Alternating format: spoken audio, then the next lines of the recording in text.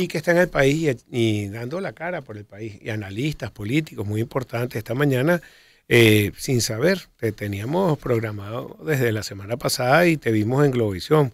Es nuestro amigo Pablo Quintero, el señor Quintero, es Quintero. Mira, Quintero dice eh, politólogo, consultor político, asesor de comunicación, socio director de LOGPS Consultancy. Bueno, qué importante, Pablo. ¿Cómo estás? Bienvenido al programa. Hola, Pedro. Eh, gracias nuevamente por la invitación y siempre es un gusto conversar en este espacio contigo sobre la política, eh, el país, un poco a modo de reflexión y bueno, por supuesto con toda tu audiencia que está ahorita conectada por YouTube y otros por el típico radiecito del carro.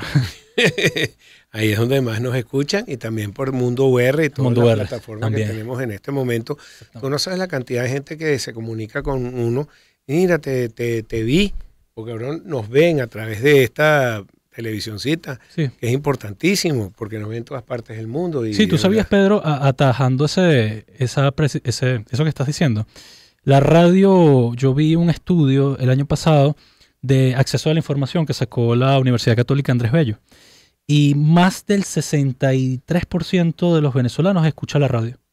Fíjate lo interesante, que a pesar de la prominencia o el uso de los dispositivos digitales, el teléfono, la tabla, eh, las redes sociales que tenemos en, en, nuestros celulares, la gente sigue escuchando la radio en el interior del país, en Caracas, sobre todo, y a veces se tiende a creer que solamente la radio es un fenómeno del carro y, de Caracas y del estado Miranda. Pero fíjate que no.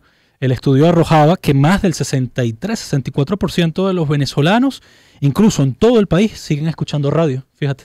Eh, y también hay un estudio muy importante que se hizo el año pasado a través de Data Analysis y otras encuestadoras que dicen, bueno, si tú quieres tener presencia real en el país y eres una compañía grande, no puedes eh, seguir solamente con los, y con todo el respeto y todo el apoyo que le tengo a todos los influencers, pero la influencia que hace una eh, audiencia eh, en todo el país nacional, a través de las radios y que tú prendes, apenas apretas un botón y ya estás ahí, la gente no deja de escucharnos. Muchos jóvenes que dicen que no, que todo es las redes, pero cuando ven un carro, así sea en un taxi, un Uber, lo que ustedes quieran, eh, eh, escuchan automáticamente. Lo que pasa es que, sí, lo que pasa es que la radio también, Pedro, tiene una gran ventaja y es que no depende del consumo de datos de Internet.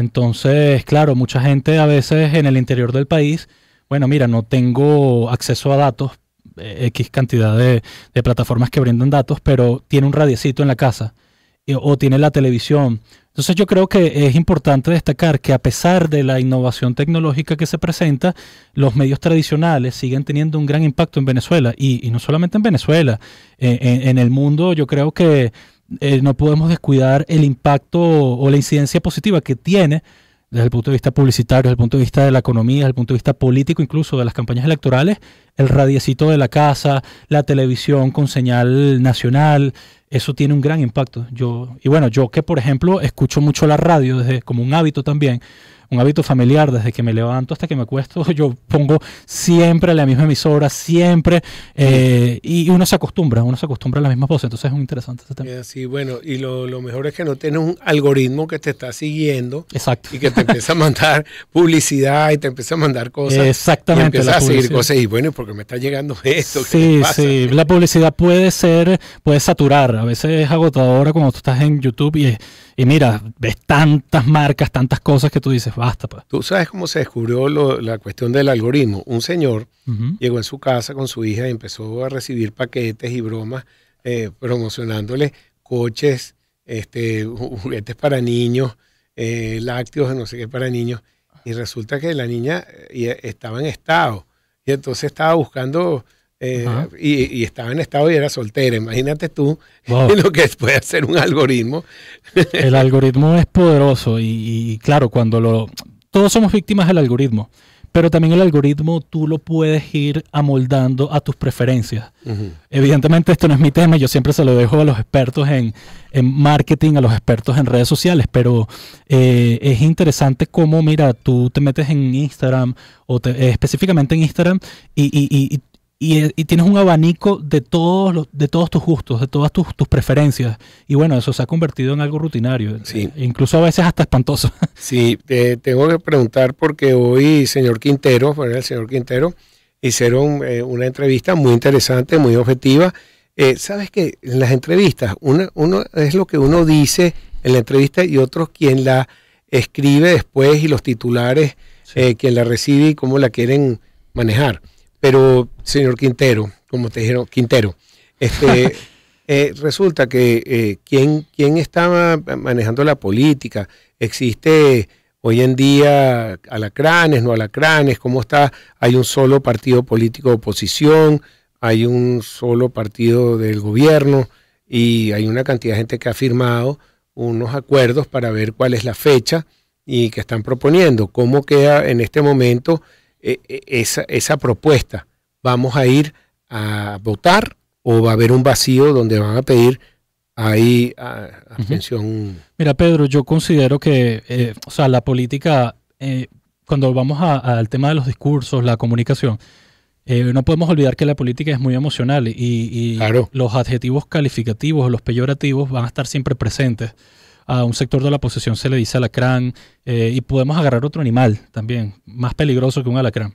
¿Cuál? Eh, oye, rinoceronte, se me ocurre.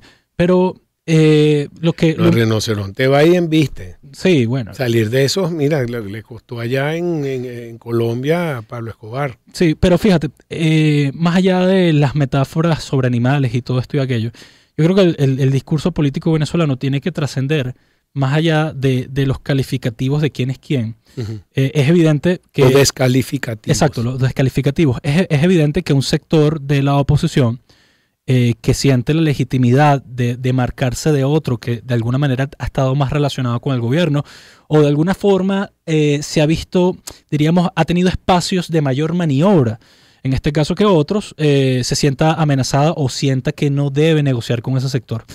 Pero eh, llevándolo al plano de la negociación, yo creo que y una negociación en simultáneo con un proceso de campaña electoral presidencial, yo creo que al venezolano le haría muchísimo mejor una política y un discurso más renovado, más fresco y menos tóxico en cuanto a los señalamientos a tú eres esto y tú eres aquello. Porque al final, Pedro, yo creo que, y, no es un asunto de creencias, es un asunto incluso hasta de números, de, incluso de sentido común. Eh, para ganarle a un partido único eh, en un sistema como el venezolano, tú requieres la sumatoria de todas las fuerzas políticas opositoras para poder ser medianamente competitivo. Eh, pero también por otro lado, tú necesitas de alguna forma construir una unidad sólida que parta por un cierto grado de cercanía o confianza o puntos en común. Con esto no quiero decir que todo el mundo tenga que abrazarse, porque también parte del diagnóstico es asimilar que es muy normal en este tipo de situaciones tener una oposición eh, desordenada, caótica, estancada, contradictoria, eso es normal. Lo que sí no es normal es que se repitan ciertos hábitos dentro de una campaña electoral que te desmovilicen al electorado, no que lo entusiasmen. Entonces tú necesitas un electorado un poco más motivado, un electorado que defina claramente cuál es su ruta estratégica, cuáles son sus objetivos, y un electorado también que tenga o reciba del político una comunicación eh, no tan descriptiva, no tan, no tan de diagnóstico, porque la gente sabe cuáles son todos sus problemas. O sea, no tiene sentido, Pedro, repetirle al venezolano el karma. El karma, quiénes son los responsables, cuáles son sus problemas. Yo creo que por, por asunto de mantener clara la, o, la documentación necesaria de responsabilidades, de tragedias y de cosas, yo creo que eso es importante. Eh, fundamental que, se haga un registro de todo lo que ha pasado en Venezuela. Pero el rol del político que está dentro de una campaña electoral tiene que ser entusiasmar al electorado, ilusionarlo, esperanzarlo, tocarle la fibra y aplicar eso que llaman escucha social. Cuando vamos a, cuando revisamos a profundidad qué es lo que quiere el venezolano de hoy, Pedro, se quiere sentir escuchado, quiere eh, escuchar eh, o quiere sentir que el político epa, forma parte de algo distinto, es decir, no es ni lo uno ni lo otro, porque la gente está cansada y en todos los estudios, en las investigaciones, estudios de opinión, sale que más del 40% de los venezolanos no se siente identificado ni con el chavismo ni con la oposición. Pero ahí voy a otro punto, Pedro. hay una encuesta eh, de la consultora Poder y Estrategia que dirige el politólogo Ricardo Ríos, que refleja que más del 60%, Pedro, se siente triste. El. Más del 60% de los venezolanos en esa encuesta refleja que el sentimiento eh, que invade al venezolano el día de hoy es la tristeza. Eh, es un sentimiento absolutamente paralizante. El venezolano ha estado en primer lugar de sentimiento de felicidad en las encuestas del mundo. Sí, Pedro, pero en esta coyuntura, según esos datos de la, encuestadora o, la consultora Poder y Estrategia del politólogo Ricardo Ríos, al cual me permito citar, que son, serán datos públicos, más del 60% de los venezolanos se, identifican con la tristeza. Ahora, ¿por qué, ¿por qué factor? Brevemente, Pedro, eh, la tristeza eh, la rabia también tiene un porcentaje, pero la rabia y la tristeza son sentimientos, eh, si no son aprovechados por la clase política, pueden paralizar y movilizar en un proceso donde tú requieres que la gente o sea, tú necesitas un empujoncito de alguna manera para que la gente te vaya y vote, para que la gente defienda el voto, para que la gente eh, pueda escuchar activamente un discurso político, una propuesta, etcétera, etcétera.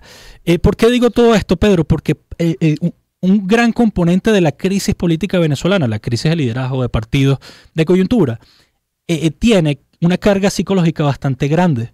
Entre ellos hay un cóctel de situaciones que por diseño son implementados dentro del caso venezolano, lo que es la desmoralización, lo que es la, persecución, el fustigamiento, eh, la banalización, la vulgarización de, de, dirigentes políticos, de propuestas. Es decir, hay un combo de propaganda política que si la oposición de alguna manera no lo asimila, no lo estudia, no lo analiza, no revisa bien eh, la operatividad de su adversario, no va a ganar una elección. ¿Por qué? Porque sigue transmitiendo ese tipo de sensaciones de duda, de... Y de frustración, no vas a lograr nada. Desilusión, pocas certezas. Y sobre todo... Estás llamando como a la abstención indirectamente. No vengas a votar, pues no vas a lograr nada. Puede ser. O sea, yo creo que, ojo, eh, también te digo, sería irresponsable para la dirigencia política opositora ir a y, llamar a un proceso de abstención.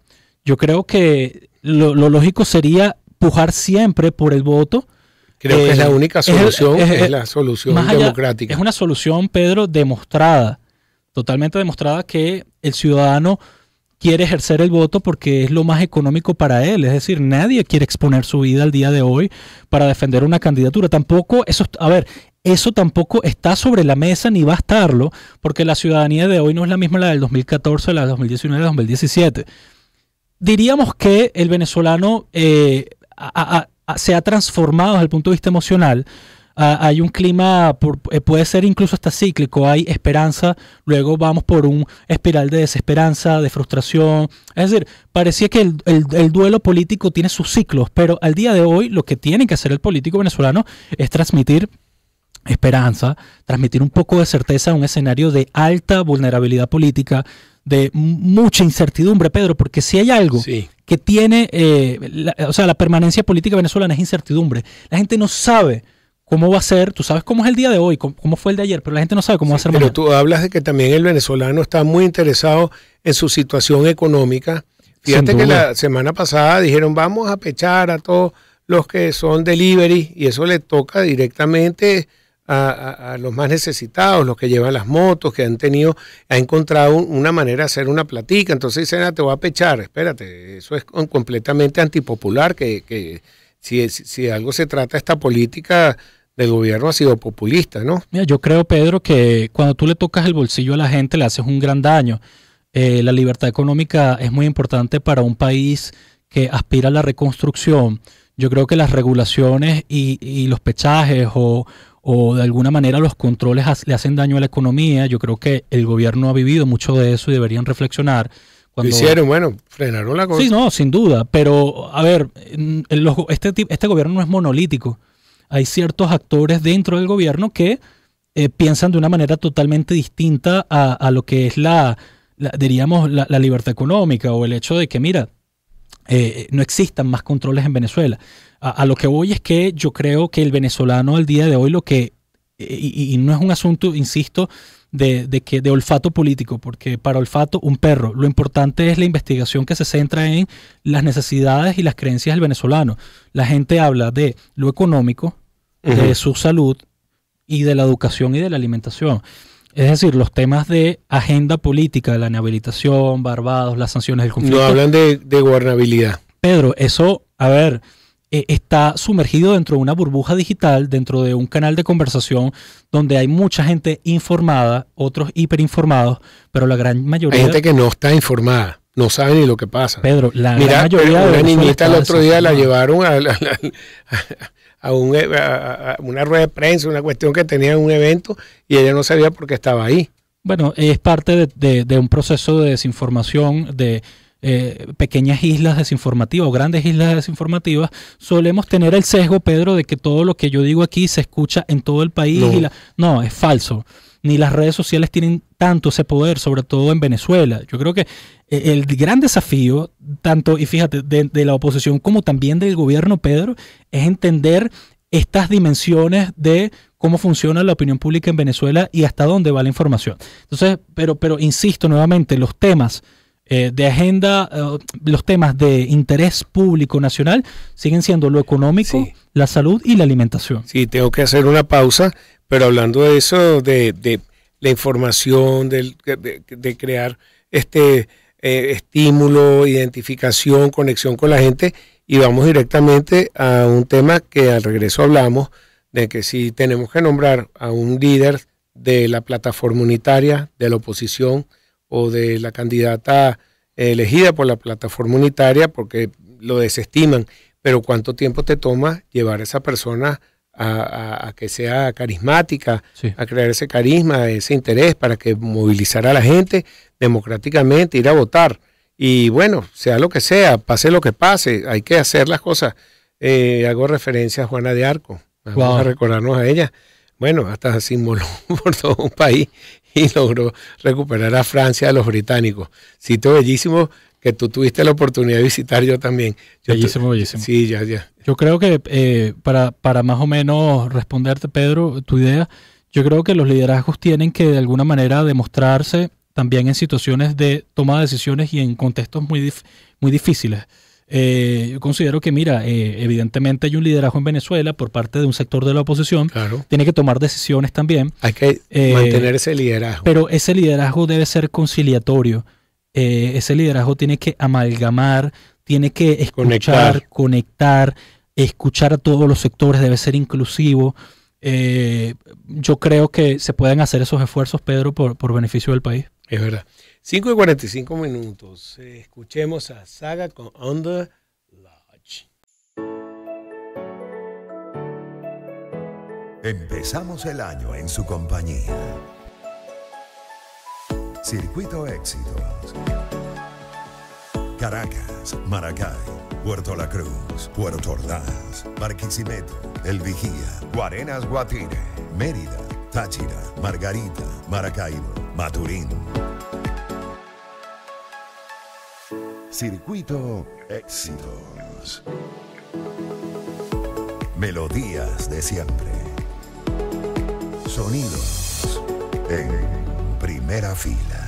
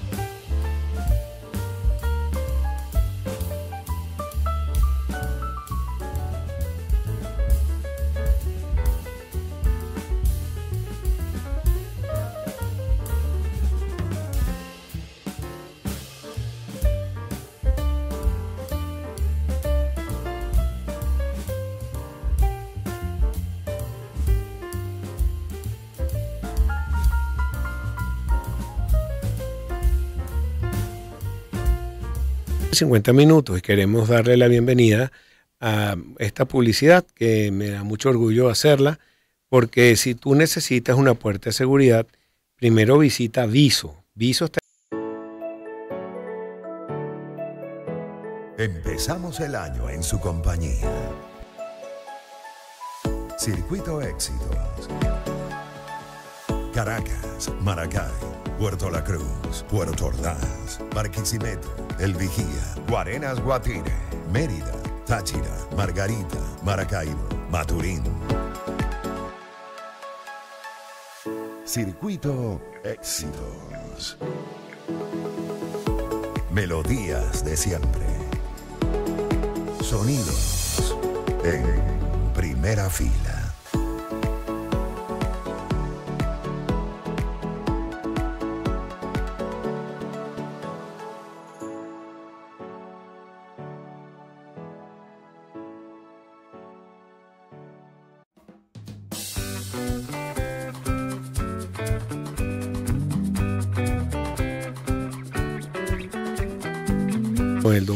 Quintero. Así te titularon hoy, doctor Quintero. Pablo, quiero Yo felicitarte. le tengo miedo a esos calificativos, Pedro, a esos títulos. Yo la verdad Quintero. que todavía no tengo un doctorado, no está por ahora en mis planes, pero, Pero sabes que eres joven, eres venezolano, la gente siempre quiere y siempre piden, ay, que no hay generación de relevo, pues sí la hay. Y nosotros en este programa siempre los apoyamos, Sí. te consta, por la cantidad de gente joven que hemos traído y siempre nos gusta su opinión. Y sí hay generación de relevo y eso es importante. Y su hay. opinión y todo, y con mucha objetividad. No, y, y, y sí hay, Pedro. Yo estoy sorprendido de la cantidad de, de gente joven, profesional, que claro, no está en Caracas y al no estar en Caracas tal vez tenga la dificultad de, de tener algún espacio para poder conversar, hablar, etcétera, pero, pero Venezuela está repleta de talento y muchísimos jóvenes en, di- en diversas áreas, no solamente en política, eh, en la economía, en otras áreas también profesionales. Lo importante es que sean objetivos, porque si no se le cierran las puertas. Si te pones a arengar y así de, eh, de lado y lado, eso no, no existe. Lo importante es tener un pensamiento político y, o económico o social para que haya también gobernabilidad, que tenga una opinión que sea potable, pues. Sí, y ser honesto, Pedro. O sea, con la verdad, la verdad puede incomodar a muchas personas, pero, pero la verdad no mete en problemas a nadie al final. Es verdad. Bueno, Pablo, estábamos hablando de lo que eh, significan todos estos partidos políticos, todos luchando y muchos de ellos que no estaban de acuerdo están firmando un acuerdo para sacar una fecha para las elecciones. Eh, ¿Tú tienes algún pronóstico? Mira. Eh, muchos dicen que debería ser diciembre porque es lo lógico, pero eso no, eso no está escrito. Mira, Pedro, te voy a responder eh, de una manera muy, muy extraña, pero no tengo pronóstico. Y, y yo creo que es difícil generar un pronóstico en Venezuela respecto a las fechas. Y te comento esto porque casualmente estaba revisando contenidos viejos de, de la opinión pública de Venezuela y medios de comunicación y me encontré con un video de Adriana Asi en su momento en RCTV con un programa de astrología política. Y allí tenía sentado a varios candidatos que al día de hoy algunos son creo que candidatos, pero el punto es que estaba Leopoldo López, eh, Enrique Mendoza, estaba eh, eh, otras personas allí. Enrique Capriles. Enrique, no, Capriles no estaba allí en ese, en ese programa y era dirigido por Nelson Bustamante. Y el punto es que todo se respondía con unas cartas. Que si, bueno, lo que dice el tarot y lo que dicen los astros sobre esto. Mira, en Venezuela las predicciones políticas son peligrosísimas porque el escenario es altamente ah, muy volátil, altamente volátil. Hay lo que llaman asimetría, lo que los internacionalistas llaman asimetría de la información. Eh, hay desinformación eh, y hay mucha operación mediática de percepción en donde tienes un actor tratando de asomar una realidad para que el otro caiga en esa realidad y le aplique su estrategia política de desmovilización. Entonces, eh, yo creo que la, la elección... Espérate, es una entrevista forzada, muy cerrada, donde llevas a la gente para que conteste lo que tú quieres. eh, eh, puede ser. o sea, No es abierta, es cerrada. eh, yo creo que la, la- la elección presidencial, Pedro, va a ser este año. Eso no cabe duda. Eh, se estima de que sea antes del mes de octubre, pero también hay que considerar, Por Trump. Eh, a eso voy, hay que considerar el proceso electoral eh, norteamericano. Es muy probable que sea antes de las elecciones en Estados Unidos, eh, pero no, no hay fecha todavía. Entonces, parte de lo que se está conversando, negociando, es, bueno, mira, vamos a establecer ya definitivamente una fecha. También por otra razón, Pedro, mira, el registro electoral permanente debe estar abierto para que todo el mundo pueda inscribirse, para que la gente pueda votar. Yo conozco personalmente personas, Pedro, que pasan de los 30 años y nunca, ni siquiera están inscritas en el registro electoral. Y eso es Pero ahí, ahí por lo menos interesa sacarse una cédula y después ir y- e inscribirse, porque tengo entendido que mucha gente tiene una apatía completa. Bueno, te, te comento lo siguiente, hay, sí hay interés, pero también ha habido desmovilización por parte de sectores de la oposición, quienes promovieron durante mucho tiempo la la abstención, abstención. y desafortunada, no solamente la abstención, el desconocimiento de todas las instituciones. ¿Y qué genera esto? Obviamente que la gente se separe de, de la política. Dice, ¿para qué me voy a escribir en el registro electoral? ¿Para qué voy a ir a votar si no sirve? ¿Para qué? Etcétera, etcétera. Entonces, yo creo que ahí es donde vamos. Ya creo que estás a tiempo de recoger tanta agua derramada. Gracias. Ojalá. Pero, neces- pero necesitas mucho esfuerzo para que la gente vaya y, y- y se... Y se puede hacer un movimiento, vayan todos con camisas anaranjadas, hagan un movimiento que la gente vea sin necesidad de tener ningún tipo de Mira, movimiento yo, Pedro, yo creo, eh, yo creo- político. Yo creo que la camisa que la gente debe- debería utilizar en este proceso electoral es la bandera, el color vino tinto. Yo creo que el país reclama eh, solución. Eh, la gente está cansada y, y esto es algo que muchos estudios de investigación lo analizan. El tema de, Pablo, la, ¿qué edad tienes de tú? la confrontación. Yo tengo 33 años. Ok, para que sepa la gente con quién estoy hablando. No, no, no, tengo, tengo 33 años. Me hubiera gustado y te lo Un, digo. pa- un padre, ¿tu hija cuánto tiempo, eh, cuántos años eh, tiene? un añito y ocho Bueno, para que es un padre de familia y que quiere el futuro para su familia, Pero- para sus hijos. At- atajando ese comentario, fíjate, yo, yo nací en el, en el 90, 1990. A mí me hubiera gustado conocer un poco más la Venezuela de antes. Caracas en el 2000, la canción es buena. Es muy buena, pero ya para el 2000 ya yo tenía 10 años, entonces ya, ya conocía un poquito más de, de lo pre- del presente. Pero lo- a lo que voy es que, y no me quiero ir a otro tema, pero mencionando eso, yo creo que parte de la juventud venezolana del día de hoy eh, desconoce algo distinto. ¿Me entiendes? De- Desconoce una Venezuela diferente desde el punto de Pero, vista pero sí cultural, oyen, sí saben. La Sí. canción está ayudando muchísimo. La gente sí sabe lo que vivimos nosotros, lo que, porque hay muchas cosas, evidencia de lo que fue Venezuela. Sí, claro. Y, y- y desde el principio de siglo. hay recursos y hay recursos audiovisuales eh, en las redes sociales que demuestran eso. Pero lo que digo es que el contraste es bueno también para tomar decisiones en política durante una elección. Pero volviendo al tema de la, de, de la fecha, es importante y yo creo que los argumentos de la plataforma unitaria en, en su última rueda de prensa fue ese, haciendo énfasis en la fecha. Eh, también el gobierno tiene cierta intención, Pedro, en, en promover la fecha, o evidentemente en consulta con otros actores políticos, pero voy a lo, a lo fundamental, el registro electoral. Si el registro electoral no está abierto o no le garantiza eh, la inscripción a todas las personas de Venezuela, porque sería fantástico también que se registren personas que están, por ejemplo, en, en Táriba, en el estado de Táchira, o en San Fernando de Apure, Sí. o en Calabozo, o en, en, en Puntemata. O sea, el registro electoral tiene que estar abierto para que todo el mundo pueda participar en esta elección, que es fundamental. Es una elección histórica para los venezolanos, además. Claro, pero Pablo, aparte de eso, ¿qué fecha crees tú? Oye, no tengo las cartas aquí, Pedro, no tengo los caracoles. Adriano Azo. No, la verdad que la verdad no me atrevo a dar fechas, no, no me gusta eso. Bueno, pero- dame escenarios. Yo creo que, mira, se está en- entre pasillos se dice julio, se dice diciembre, se dice septiembre. Tienen una cantidad de propuestas, la Pedro. Asamblea Nacional. agosto-octubre. Eh, es lo que te puedo decir, eh, con muchísima prudencia y con bastante reserva, porque no hay eh, información exacta sobre eso. Eh, recuerda que todas estas decisiones locales también van a estar tomadas sobre el escenario geopolítico norteamericano y también, evidentemente, sobre algunas negociaciones que se vayan dando Sí. entre la oposición y el gobierno Mi- y el Reino de Noruega. Mira, quédate para la otra parte. No hago esto con mucha frecuencia, pero para hablar sobre esas relaciones con Estados Unidos. Si me Chévere, como un poquito del recorrido noticioso, me lo como. Pablo Quintero, politólogo. Ya regresamos con más para ustedes en Pensini con todo en el circuito éxito. A continuación, programa Comienza un nuevo año y estos son los eventos deportivos más importantes del